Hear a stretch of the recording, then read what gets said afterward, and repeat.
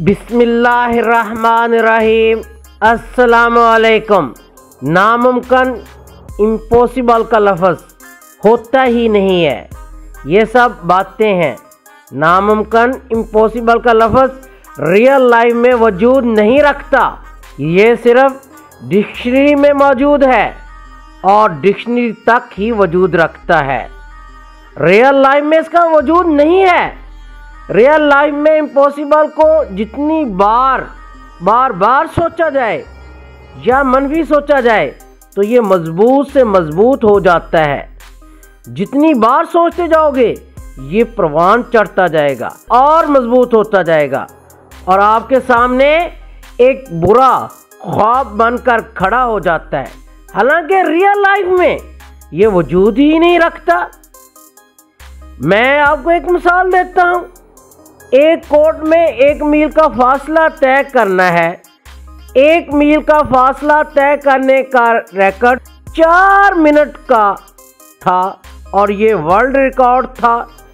اس کو بہت دیر تک توڑا نہ جا سکا۔ پھر نائنٹین زیرو تھری میں انگلینڈ کے اولمپک ٹیم کے کوچ اینڈریو، جو اس زمانے میں مانے جانے کوچ تھے، انہوں نے ایک سٹیٹمنٹ دی کہ یہ لاسٹ ریکارڈ ہے چار منٹ کا، چار منٹ میں ایک میل کو طے کرنا۔ اس کے بعد اس کو توڑا نہیں جا سکتا۔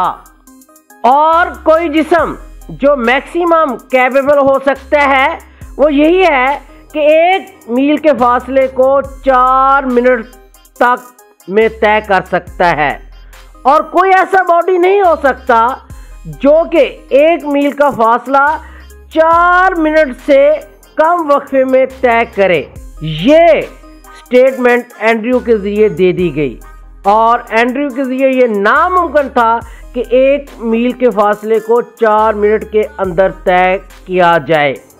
مگر یہ سٹیٹمنٹ ایک جنونی، پاگل، بیوقوف شخص راجر راجر بیرسٹر نے سن لی اور اس نے سوچا کہ ہی کین ڈو اٹ، وہ ایسا کر سکتا ہے کہ ایک میل کا فاصلہ چار منٹ سے کم وقت میں طے کرے۔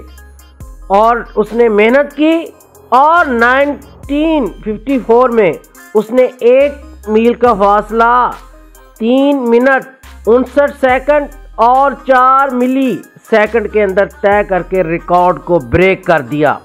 اینڈریو جو کہ اپنے دور کا بہترین کوچ مانا جاتا تھا۔ اس کا کال لوگوں کے مائنڈ میں حرف آخر بن کر ٹھہرا ہوا تھا کہ اس کو بریک نہیں کیا جا سکتا۔